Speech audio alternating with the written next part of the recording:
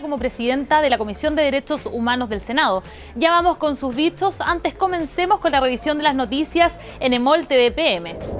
Esta mañana la presidenta Michelle Bachelet presentó en la moneda un instructivo sobre buenas prácticas y transparencia que obliga a ministros, directivos de empresas públicas y rectores de universidades estatales a presentar declaración de patrimonio e intereses antes del 30 de abril. Chile está demandando mayores exigencias en materia de transparencia e integridad de sus servidores públicos y representantes y las respuestas no pueden admitir dilaciones. Además, firmó un proyecto de reforma constitucional para que los expresidentes realicen su declaración de intereses de por vida. Por ello, junto con este instructivo, estamos enviando hoy al Congreso, algo que también señalé en la, la ceremonia de constitución del Consejo, un proyecto de reforma constitucional para que los presidentes y presidentas de la República estemos obligados a presentar declaraciones de patrimonio e intereses de por vida. Y yo seré la primera en dar cuenta al país a partir de este nuevo estándar.